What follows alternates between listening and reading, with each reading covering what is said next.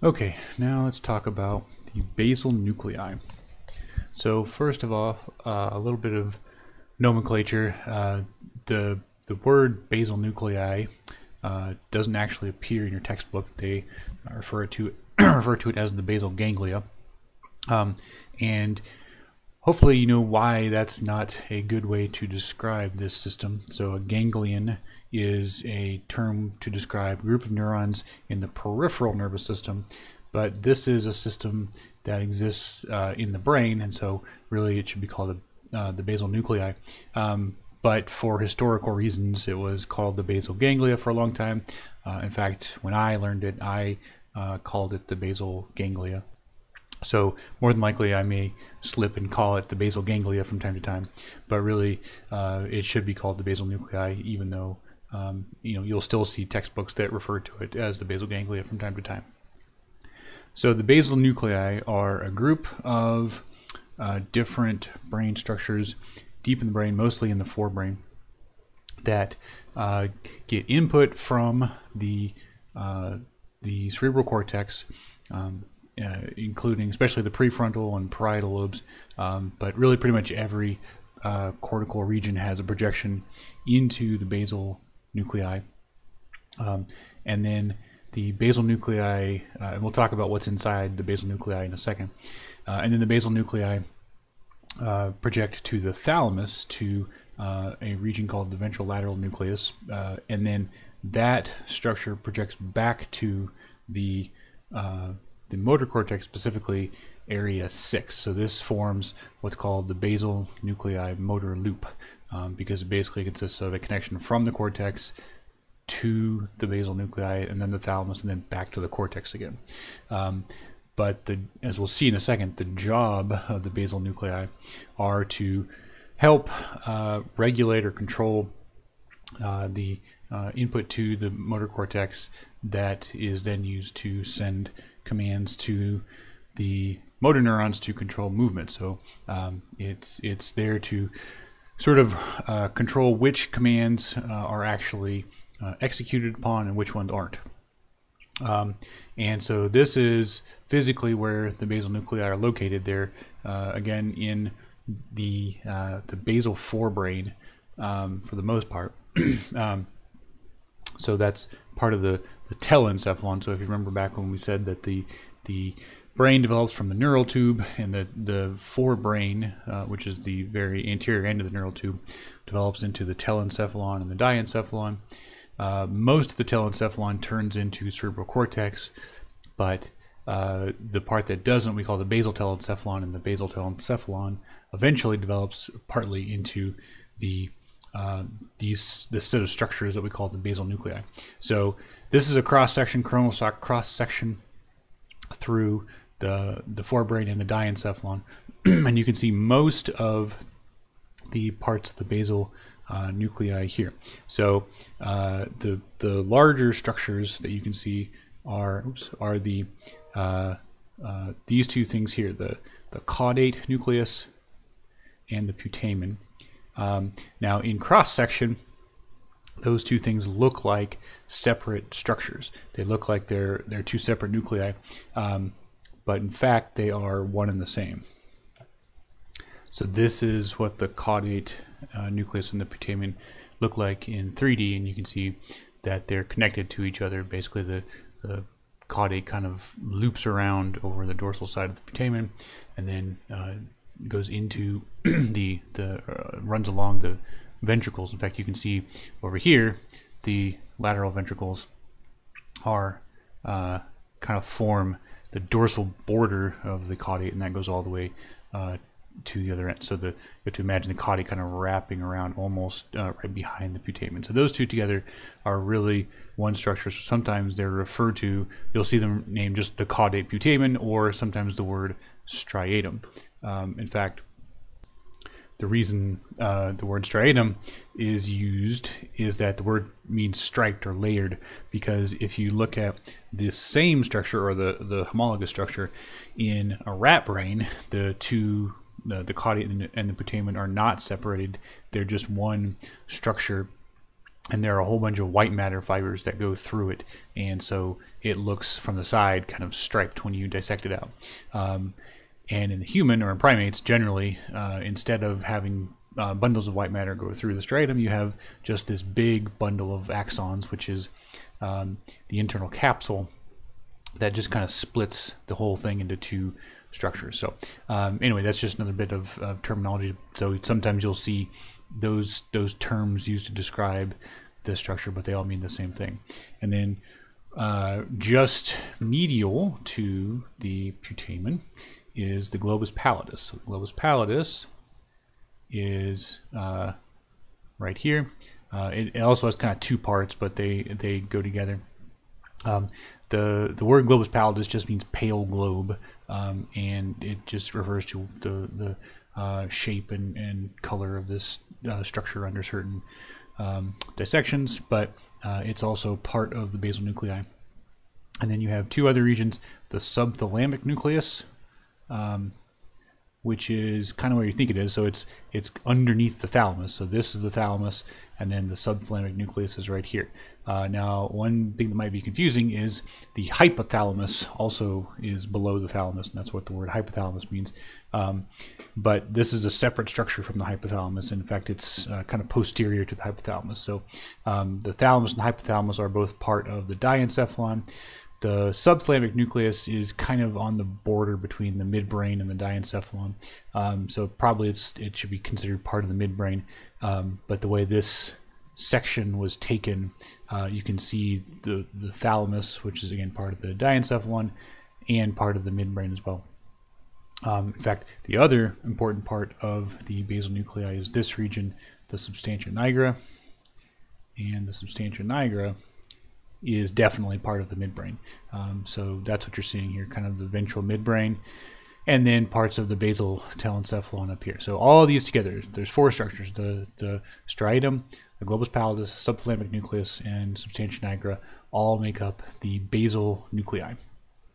Um, and then the way they're connected looks kind of like this. This is kind of a simplified diagram, but it uh, makes it pretty clear how these different regions are connected to each other.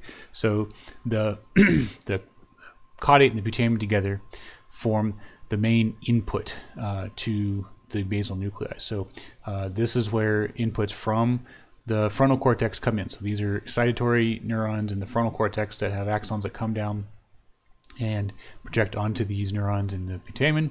Um, and then those neurons are primarily inhibitory, so they they express GABA as a neurotransmitter, and so they then synapse onto neurons in the uh, the globus pallidus. So the general pathway of information here looks like this: you have uh, from the cortex to the putamen, from the putamen to the globus pallidus, and then from the globus pallidus out another inhibitory projection to the thalamus, specifically this part of the thalamus, which you can also see here, called the ventrolateral nucleus.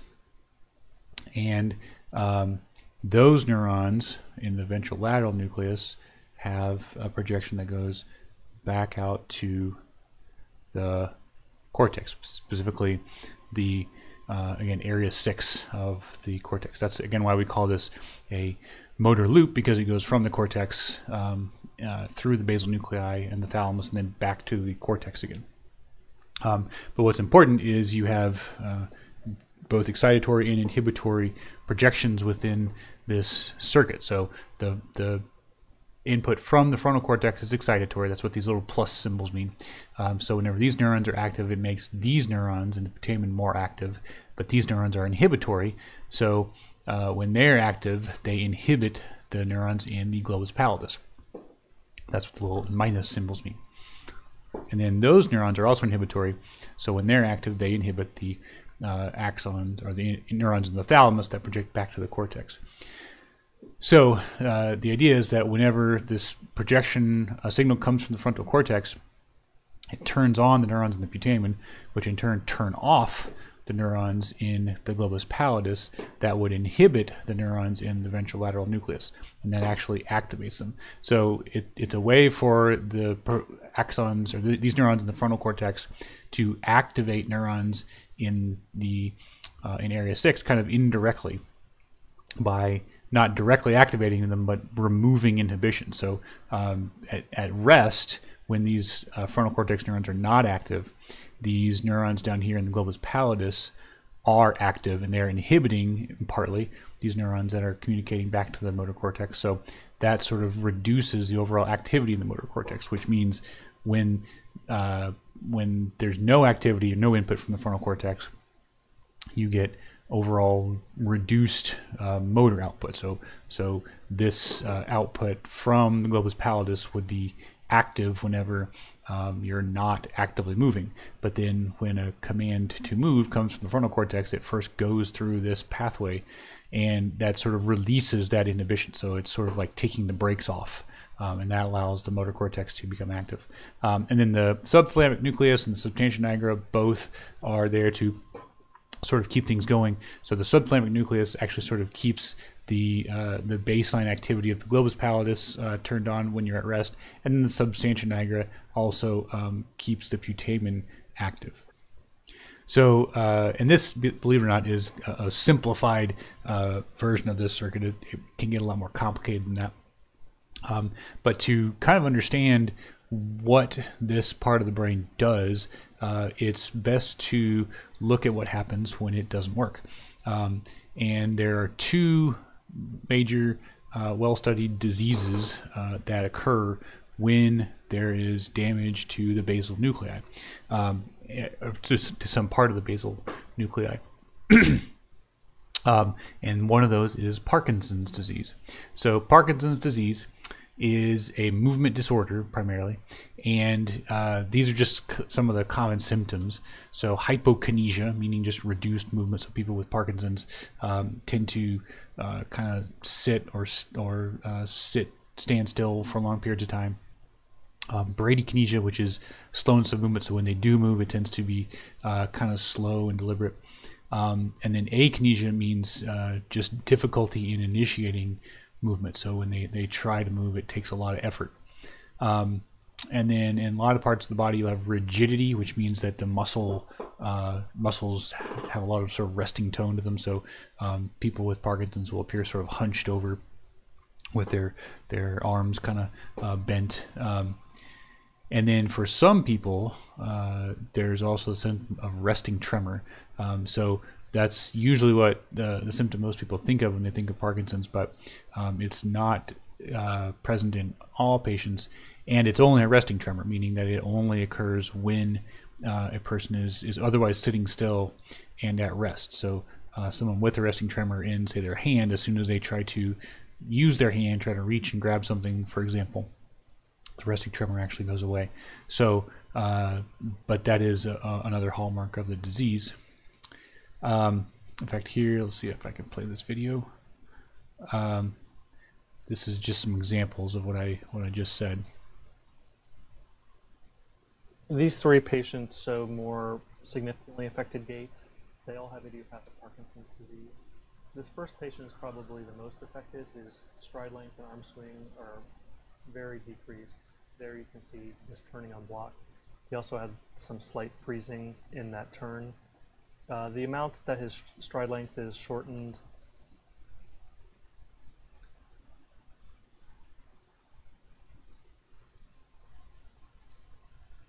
uh, and the festination interfere with his gait, making it difficult. Therefore, I would rate that a, a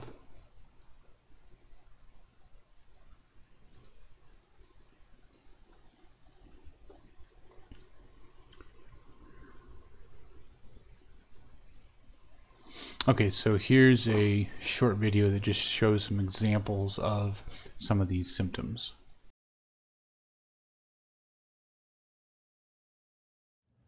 These three patients show more significantly affected gait.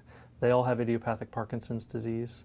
This first patient is probably the most affected. His stride length and arm swing are very decreased. There you can see this turning en bloc. He also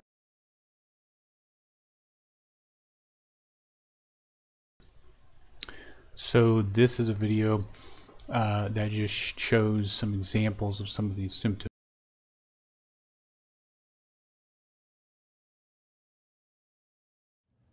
These three patients show more significantly affected gait. They all have idiopathic Parkinson's disease. This first patient is probably the most affected. His stride length and arm swing are very decreased. There you can see this turning en bloc. He also had some slight freezing in that turn. Uh, the amount that his stride length is shortened uh, and the festination interfere with his gait, making it difficult. Therefore, I would rate that a, a, a 2 on the UPDRS. This second patient has decreased stride length and some dystonia in the neck, which make his gait somewhat difficult. This third patient shows the response to medications that can happen in Parkinsonian gait. First, here we see him with significantly stooped posture. And then next with meds, he has better stride length, and although his posture is still affected, has is improved somewhat. These three patients show severely affected Parkinsonian gait. This first patient actually has a diagnosis of multiple systems atrophy, or MSA, you can see the difficulty she has rising out of a chair, even needing assistance using her hands to push up. When walking, she is unable to walk without an assist device, here her cane, and has much difficulty taking any steps. Once she's out in the open, she fares a little better. However, her shortened stride length and severe truncal dystonia, here leaning towards the right, which could be described as Pisa syndrome, which is frequently seen in MSA, are causing her severe gait disturbance. This second patient has idiopathic Parkinson's disease and is off his medications. We can see that he needs full assistance to stand and is unable to even take one or two steps in his gait. This last patient demonstrates the postural instability seen in some Parkinson's patients. On pull test for balance, she has complete lack of postural responses and needs to be caught by the examiner.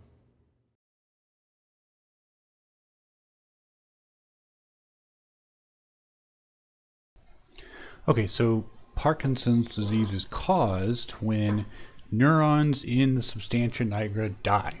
And uh, this is usually um, a, a, thing that's diagnosed or can be diagnosed uh, at autopsy, meaning after someone has died, because there are other other uh, movement disorders that can be caused by other things that have similar symptoms. But but true Parkinson's disease is caused by um, the degeneration of neurons in the substantia nigra. So this is uh, um, a cross section through the midbrain, which is where the substantia nigra is, and this is a view of the midbrain. It's kind of upside down, but um, this is where the substantia nigra is actually found. And in fact, you can see why it's called the substantia nigra, uh, which literally means black substance, because the neurons in here produce a, a large amount of melanin um, as a byproduct. And so they actually look uh, black or dark brown um, in cross section. And so in people with Parkinson's, these neurons die. And uh, so when you look at someone's brain with Parkinson's, uh, that that uh, black or dark brown substance is gone because the neurons are gone. Um, and the, the reason actually they're black in part is because these are neurons that produce dopamine. And uh, it turns out that one of the byproducts of dopamine metabolism is uh, melanin. So uh, that's why these neurons look the way they do. And again, their job is to project to the uh, putamen. So neurons in this substantia nigra send dopaminergic input to the putamen. That has a uh, sort of uh, increased modulatory effect. So that sort of keeps the activity uh, or makes the neurons in the putamen more responsive to uh, ex excitation by the frontal cortex. So it just sort of keeps them online. So the, the neurons in the putamen themselves don't die. It's just these neurons that die in Parkinson's. So when they when they go away, um, the excitatory activity from them goes away in the putamen. So it's just harder then for the, the frontal cortex neurons to activate the putamen neurons, which in turn means that it's harder for the, the puta caudate putamen neurons to uh, to inhibit the globus pallidus neurons. So there's an increased sort of baseline in inhibitory uh, output to the um, to the thalamus. So basically, that means that that these neurons in the in the ventrolateral thalamus become less active, and therefore the neurons that would normally be activated in uh, area six of the motor cortex become less active as well. So, so again, the job, one of the jobs of the basal nuclei is to kind of take the brakes off of the activity in the motor cortex. And in Parkinson's, you lose the substantia nigra neurons that sort of help that process along. Um, and then another uh, well-known disease that's associated with basal nuclei is um, Huntington's disease. So Huntington's, uh, in many ways, is almost like a mirror image of Parkinson's. So it's uh, associated with hyperkinesia. That means just uh, increased movement overall. Um, dyskinesia. So so when people move, it tends to be sort of abnormal and sometimes almost uncontrolled. Um, and in fact, the, the other name for the disease is Huntington's chorea. Uh, and chorea, in this case, uh, comes from the Greek word for dancing because that's kind of what it looks like. Um, and then uh, later on in, in, the disease, it's associated with uh, dementia and sometimes personality disorders as well, uh, because even though it starts as a movement disorder and it starts to some extent with the basal nuclei, it uh, uh, eventually affects the whole brain. So this is a normal brain, and this is someone with uh, a brain with someone with advanced Parkinson's. And the main thing you can see is the brain has a sort of overall shriveled look to it because a lot of neurons have died, uh, and a lot of the white matter connections between parts of the brain have gone away. But especially the the caudate putamen. So this uh, big hole, of course, these are the lateral ventricles. So these are the lateral ventricles of a normal brain. And in a Huntington's brain, the, the lateral ventricles look very, very big. But that's really because these neurons right here that would uh, normally be part of the basal, uh, I'm sorry, the, the caudate putamen, this whole thing is caudate putamen. And in someone with uh, Huntington's, the caudate putamen is more like this. So it's, um, again, just kind of shriveled because uh, the neurons die. So these are both Huntington's and Parkinson's are what we call neurodegenerative diseases, progressive neurodegenerative diseases, which means that the neurons in these parts of the brain start to die and they just continue dying um, until that, that part of the brain no longer functions. Um, so with Parkinson's, it's just localized to the substantia nigra, but in Huntington's, it, it starts with the basal uh, uh, nuclei and kind of spreads from there. So it, again, uh, we're talking about uh, loss of the striatum and the globus pallidus, and eventually um, other parts of the brain, including the cortex. So here, what so in Huntington's, you've lost these neurons and these neurons. And actually, these are more important because uh, what this means is that there's no inhibitory output anymore, or, or less inhibitory output from the globus pallidus to the thalamus. So these thalamic neurons um, become more active, and it makes it uh, easier for them to activate these motor cortex neurons, which produces the increase in uh, motor behavior. So here's another video that kind of, uh, again, gives some examples of these these symptoms.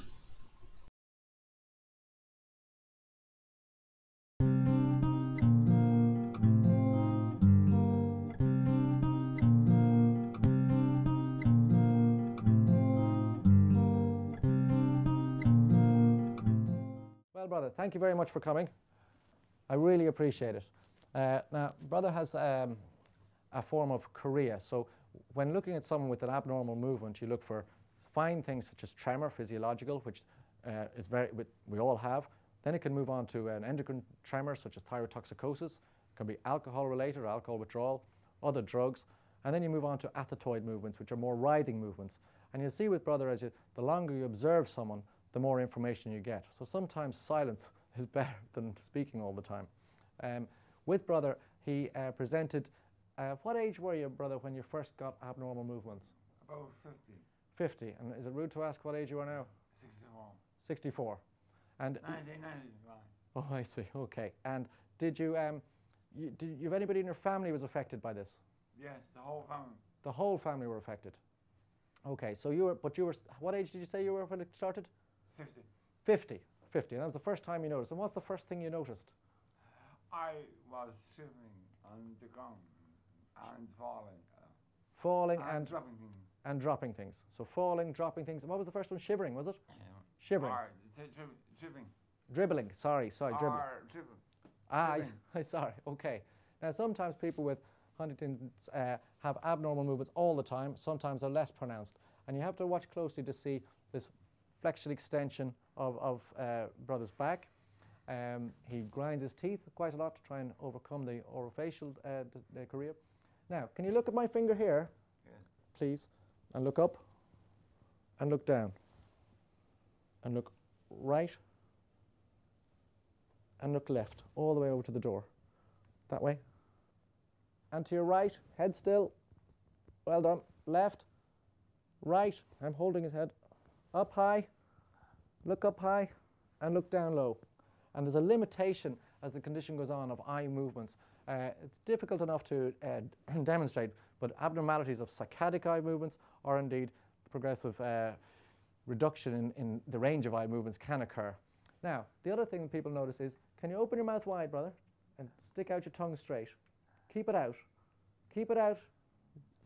Keep it out all the time. Don't let it back in. Come on. Keep it out as long as you can. But let's count to three. Go. One. One. One. Okay. And, and there's a difficulty with sustaining a movement. So as we see here with the right hand, if you don't mind, can you put your hand out straight in front of you, just your right for the moment, and close your eyes. Keep them there, and I want your eyes closed all the time. So hand out again. I'll, I'll, I'll kind of half support it here. Keep it there. And you can see the slightly writhing movements. Eyes closed when you can. I'm here now. Don't, don't hurt yourself. Okay, now we try the left hand.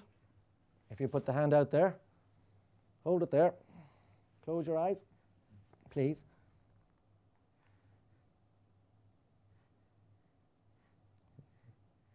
So they're quasi-purposeful is the phrase that people use as, as if they're on purpose movements. Um, and they're uh, generalized, affecting head to toe, generally the limbs more so than the head and neck. But uh, in brother's case, it is affecting head and neck. Uh, it's affecting his speech. Uh, is your swallow affected? Yes. It is. Very, affected. very much so. I have to say things very so. You have to uh, liquidize them. Yeah, them. Do you have to liquidize them? You do have to. Okay. Hunting them the, Huntington's disease. is the sign is on. Oh, I see. Okay. So Huntington's disease, that's one of the first signs for you. But, or no, for me it was tripping on the ground.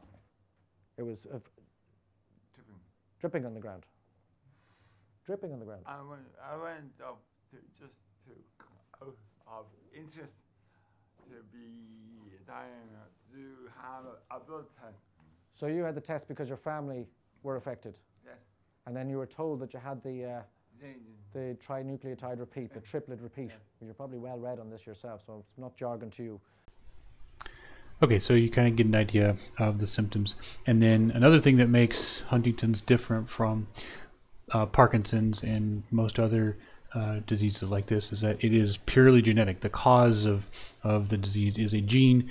Um, it's actually a dominant gene, which means that if you uh, if you have it, you actually have a 50% chance of, of giving it to one of your kids, and um, uh, it means that one of your parents also had the disease. Um, uh, and it is, uh, like I said, progressive, uh, but it usually onsets late in life. So, in other words, you can go uh, 50, 60 years without any symptoms at all, and then not until you're, uh, you know, well past uh, the the age that most people have kids, do you find out that you have the disease. Um, it's caused by a, a gene that produces a protein that um, when it's mutated, can uh, turn into these uh, uh, folding uh, aggregates in the brain that can kill cells. Um, now, why exactly it it targets the basal nuclei first is not clear, uh, but it does eventually affect the whole brain. Um, as opposed to Parkinson's, which is not uh, has some genetic component. So if you have a parent with Parkinson's, you have a higher risk than someone who doesn't. Um, but again, if you have a parent with Huntington's, you have a 50% chance of having the, the disease. And there is a, a genetic test that will tell you um, whether or not you're a carrier or not. And if you are a carrier, um, you're, you're going to have the disease uh, at some point in your life. Um, Uh, both are, are uh, have no cure. Um, there are some medications that can um, uh, mitigate some of the effects. Um, so in the case of uh, Parkinson's, for example, because again you're losing these dopamine neurons, uh, drugs that uh, that can increase dopamine levels in the brain can sometimes slow down the process, but otherwise it is progressive and both are eventually fatal too. So with Huntington's, uh, again, it's in a way kind of the opposite of Parkinson's. You're you're taking the brakes off. So the the output from the basal nuclei from the globus pallidus is uh, again mostly there as a as a brake on motor activity. So if you if we go back and think of it in terms of just this simple loop here, so you have output from the cortex to the basal nuclei. Uh, again, here your your book still calls it basal ganglia. Uh, out from the thalamus back to motor cortex. Um, it's it's uh, uh, default is to to sort of inhibit motor cortex or inhibit the VLO, which would prevent uh, motor cortex activity. And the the the idea is that the job of the basal nuclei is to inhibit those uh, those movements or those uh, circuits in motor cortex that would initiate unwanted or undesired movement. So at any given time, uh, you know you have all these inputs coming into motor cortex. So you've got inputs coming in from the prefrontal cortex, you have input coming in from the sensory cortex, you have input coming in from other subcortical regions, so all this excitatory activity coming in. And these all, in a way, sort of represent demands on the brain or the body that the motor cortex uh, uh, can act on. So, you know, at any given time, uh, you know, you, you, may have the urge to uh, you know scratch your nose um, or to get up and, and uh, walk around or to speak when it's you know not a good time, whatever. Um, and all of those uh, uh, are are coming in. All those sort of requests for motor activity are coming into the motor cortex at the same time.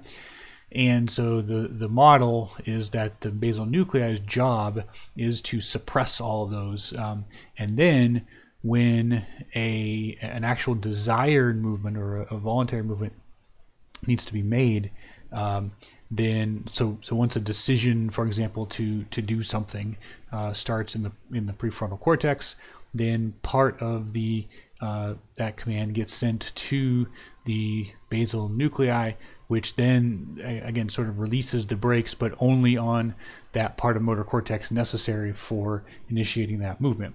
And so uh, those two functions, again, you can kind of see in the two diseases we talked about. So with Parkinson's, um, you you lose the ability to take the brakes off. There's no uh, there's no way, or it's much harder for the cortex to to communicate through the basal nuclei uh, because there's there's that absence of baseline activity from the substantia nigra, and so that just makes it harder for the prefrontal cortex to tell the motor cortex okay now it's it's okay to move um, and so that's why you get that that lack of movement Whereas with Huntington's, um, you, the brakes are off, so there's there's less input to the motor cortex. Uh, I mean, less inhibition on the motor cortex from the basal nuclei, and so all those commands to move are sort of all trying to happen at the same time. So that's kind of what the chorea or the uncontrolled movement of the disease uh, might be. It's it's the the brain trying to do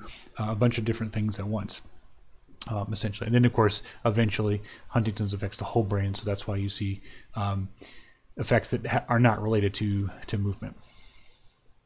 Okay, and so that does it for the basal nuclei. Next time we'll talk about the cerebellum.